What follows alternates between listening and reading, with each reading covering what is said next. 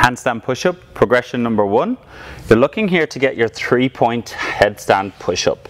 So what I mean by that is we start with our hands about shoulder width apart, and we're going to lower down where our forehead now is going to meet the floor in a nice triangular position.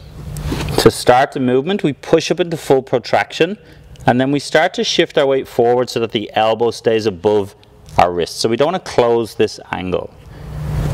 From there, we lower down, head touches the floor, and then we push right back up into full protraction.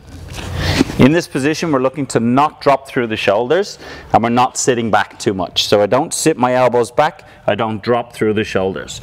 I maintain that full protraction, I lean forward and then I hinge from the elbows as I come down and I push back up.